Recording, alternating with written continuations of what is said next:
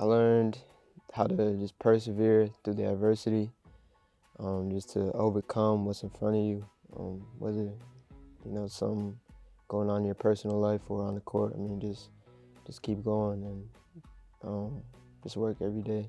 As an athlete, I say just becoming more of a leader and being more vocal, um, just expressing how I feel more. It doesn't really have to do anything with you know being an athlete, but I think more the mentality side of it. I learned how to live on my own, be independent. I learned how to uh, work with others, live with others, um, just being around different kinds of people and you know getting to know their stories. I mean, I'm gonna take that with me everywhere I go. Um, this experience, so it, it's preparing me for for everything that's gonna go on outside of here. Most proud of myself for just being on my own and fighting every day, um, just overcoming what I'm going through.